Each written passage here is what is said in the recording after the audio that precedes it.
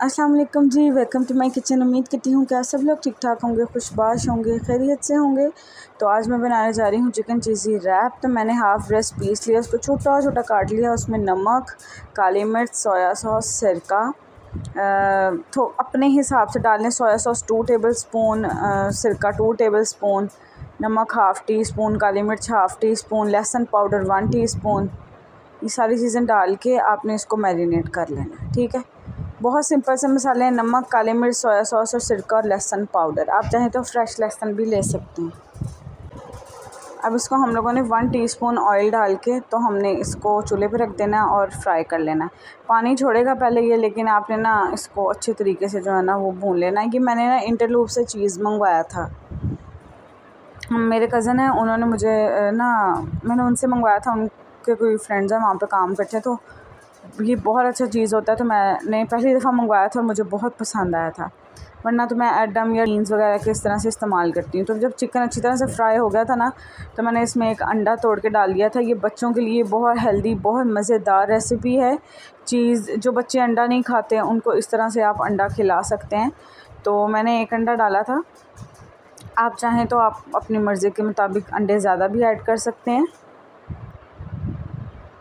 तो lunch box के लिए बहुत अच्छी रेसिपी है। आप अपने हस्बैंड को, अपने भाई को, अपने बाबा को, जो भी ऑफ़िस बेस्ड पर्सनस हैं आपके घर में, उनको आप ये लंच में दे सकती हैं। अपने बच्चों को बना के दे सकते हैं। ये मसाला बना के फ्रीज़र में रख लें और जब जाने का टाइम हो तो आप बच्चों को सैंडविच बना दें टोटीला में लगा दें शॉर्मा बना दें शॉर्मा ब्रेड में लगा दें। किसी भी तरीके से आप इसको बना कर दे सकती हैं। बस आपके बच्चे अंडा नहीं खाते तो आप अंडा मैंने इसमें ऐड किया है। सब्ज़ियाँ नहीं खाते तो आप इसमें मज़ीद सब्ज़ियाँ ऐड कर सकते हैं। तो वीडियो पसंद आए तो लाइक, शेयर करना मत भूला करें। चैनल को सब्सक्राइब करके बेल आइकन दबा लें, ताकि आने वाली वीडियो का हर नोटिफिकेशन आपको मिल सके। अब जब अंडा पक गया ना तो मैंने इसके अंदर एक मीडियम प्याज चॉप करके वो ऐड कर दी। मैंने कहा ना आपको कि अगर आपके बच्चे सब्ज़ियाँ भी नहीं खाते तो आप इसके अंदर शिमला मिर्च, बंद गोभी, गाजर, प्याज, ब्रोकली, सब चीज़ें डाल सकते हैं। ये वही थाउज़ेंड सॉस है जो मैं अक्सर बनाती होती हूँ। मैंने बहुत दफ़ा बनानी सिखाई है। तो बस इसके अंदर सारा कुछ डाल के मैं इसको मिक्स कर लूँगी। उतनी देर में हमारा ये मिक्सचर भी रेडी हो गया है। तो अब इसके अंदर मैं ना एक प्याली भर के इस तरह से चीज़ का डाल दूँगी। मैं हर एक सैंडविच में, मुझे इस तरह से मुश्किल लगता है, देखें कितनी आसान है ना, बीच में चीज़ मिक्स कर दी, मेल्ट हो जाएगी तो इसको उतार लेंगे। उस तरह से अगर आपने शॉर्मा बनाना है तो अलग से चीज़ डालो, फिर टोटीला में लगाना है अलग से डालो, ब्रेड बनानी है सैंडविच बनाना है अलग से डालो। तो अलग से डालने से बेहतर है, इंसान अंदर ही मैंने एक प्याली भर के अंदर मिक्स कर दिया था। अब देखिए कि चीज़ से कैल्शियम चला गया, अंडे से प्रोटीन चलेगी चिकन से भी प्रोटीन मिल जाएगी। तो बच्चे का ये एक फुल मील है। तो आप ये देखें कितनी इसकी चीज़ की जो है ना, वो है तारें बन रही कितनी प्यारी इसकी जो है वो स्ट्रेचिंग है। तो आप लोग ज़रूर ट्राई कीजिएगा। कोई भी चीज़ ऐड कर सकते हैं, कहीं से भी कोई कोई किसी भी ब्रांड का डाल लें। चैडर डाल लें मोज़रेला डाल लें। तो बस मैंने ये डाला, अच्छी तरीके से मिक्स किया। नमक का हाथ होला ही रखना है, क्योंकि सोया सॉस में होता है, सिरके में होता है चीज़ में होता है।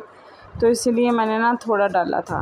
तो आप चाहें तो स्टेज पर नमक मिर्चें चेक करके वो डाल सकते हैं। मैं बच्चों के लिए बना रही थी, इसलिए मैंने थोड़ा ही रखा था, नमक मिर्चें हल्की ही रखी थी। तो जी, ये देखें जी, हमारा मिक्सचर बिल्कुल रेडी है। अब बस मैं इसको असेंबल करूँगी और असेंबल करते हुए मैं आपको दिखाती हूँ। मैंने टोटीलाज में असेंबल किया है। आप चाहें तो किसी भी ब्रेड में कर सकते हैं। तो ये देखिए, मैं लगा रही थी फटाफट से। पहले मैंने सॉस लगाया, फिर मैंने मिक्सचर रखा और मैं इसको फ़ोल्ड कर दूँगी। बेसिकली डी शेप बना लूँगी। हाफ़ मून शेप जिसको कहते हैं, वो बना लूँगी। और इसको मैं पैन में डालूँगी वन टीस्पून बटर और बटर के अंदर इसको मैं सौते कर लूँ। हल्का हल्का बाहर से बसना है, इसको हम लोगों ने कलर देना है। और बस बटर से मैंने ग्रीस किया हुआ था पैन बहुत हेल्दी ब्रेकफास्ट है ये, आप बच्चों को लंच में दें ब्रेकफास्ट में दें, शाम में स्नैक्स में बना के दे दें टी टाइम में दे दें, आपके घर कोई पार्टी है, कोई पार्टी है, कोई इवेंट है, कुछ भी है बर्थडे है तो आप उस पर भी दे सकते हैं, देखिए कितना मज़े का जूसी क्रीमी बहुत मज़े का ये ना बन गया था। तो बस मैंने सारे बना लिए थे इसी तरीके से। अब मैं इसको क्या करूँगी दरमियान से आधा कर लूँगी। पिज़्ज़ा कटर की मदद से मैंने इसको दरमियान से हाफ़ कर लिया है। अब ना इस तरह से मैं बना बना के रखती जाऊँगी।